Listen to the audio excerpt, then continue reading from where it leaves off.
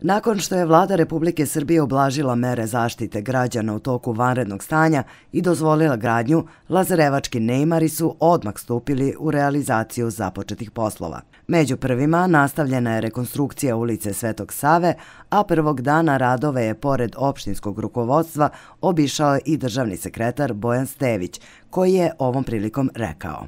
Trenutno se izvode radovi na uređenju E, Ehm, centralnog prolaza u naselju treća mesta zajednica, odnosno pešačkih staza. Što se tiče ehm, završetka radova, očekujem završetak radova na centru za djecu sa posebnim potrebama u naselju treća mesta, koje finansira vlada Republike Srbije. Balon hala u koroslovne škole Vojstva Loka Savić je već uveliko pokrivena. Očekujem sada radovi na izgradnji prostorija ehm, za, za za preslačenje osnovaca i zaposlenih i uređenje unutrašnje unutrašnjeg dela te sale, balon sale. Napomenuo bi također da očekujemo u narednih 15 do 20 dana Eh, početak radova u ulici Janka Stajčića koja finansira grad Beograd, Beogradska direkcija. Eh, izvođač radova je uveden u posao, već je održano nekoliko sastanaka eh, sa svim preduzećima sa teritorije opštine Lazarevac i izvođačem radova i investitorom gradom Beogradom. Radit će se celokupna rekonstrukcija ulice Janka Stajčića u dužini od 1700 metara, znači od bivšeg GP Motorsa do pružnog prelaza ili do krivaj, kako mi volimo Lazarevčani to da da, da napomenemo.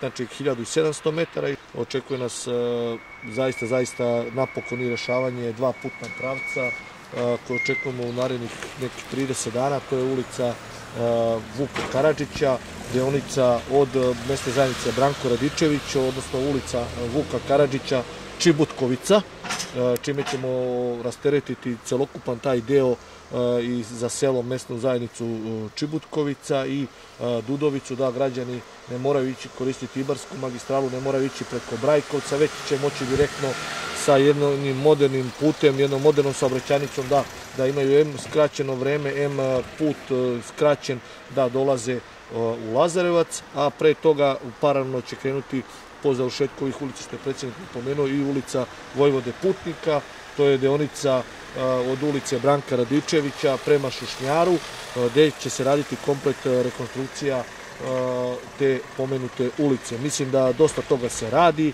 Ministarstvo državne uprave i lokalne samuprave potpisalo ugovor, ministar i predsjednik opštine su potpisali ugovor za izgranju balon hale u mestnoj zajednici Veliki Ciljeni.